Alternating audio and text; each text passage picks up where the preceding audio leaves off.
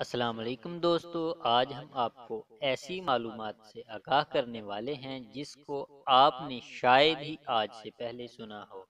آج کل لوگوں کا خیال ہے کہ یہ جو سرجری کی ساری چیزیں انگریزوں کی ایجادات ہیں، مگر آج ہم آپ کو اس بات سے آشنا کروائیں گے کہ یہ کون تھا جس نے سارے اوزاروں اور آپریشنوں کے طریقوں سے ہمیں آگاہ کیا۔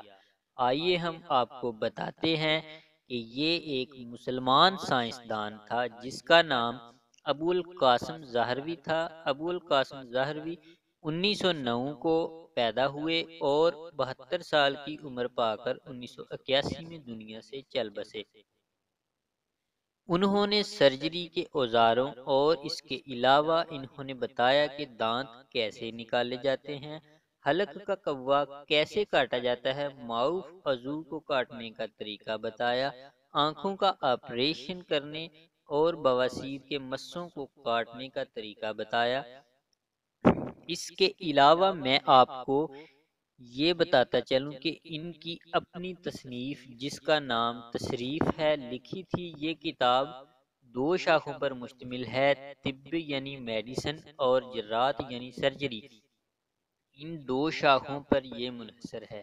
یہ کتاب صدیوں تک یورپ کی یونیورسٹیوں میں سرجری کی واحد میں معیاری کتاب کے طور پر داخل درس رہی۔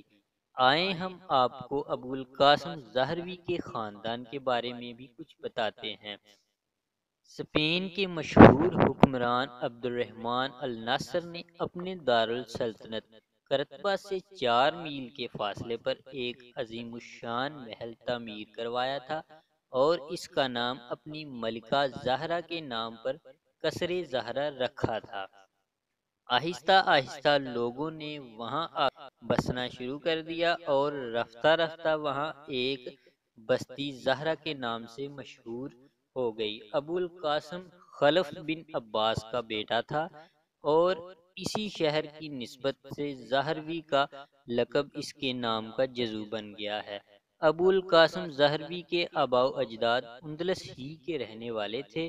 ابو القاسم زہروی اندلس کے آٹھویں بادشاہ تھے۔ اہل اہل مغرب جو مسلمانوں کے ناموں کو بگاڑنے میں خاص مہارت رکھتے ہیں، انہوں نے ابو القاسم زہروی کے نام کو ابو القاسس البو قاسس اور الزہرہ اویس رکھ دیا ہے۔ اگر آپ کو ویڈیو پسند آئی ہو تو ویڈیو کو لائک کریں اور ہمارے چینل کو سبسکرائب ضرور کریں۔ سبسکرائب کے ساتھ بیل آئیکن کو بھی دبا دیں۔